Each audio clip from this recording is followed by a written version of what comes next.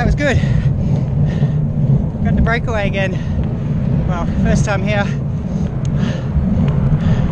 The guy was too fast. I just couldn't hold his wheel. Plus he pulled a lot at the start, so he's strong.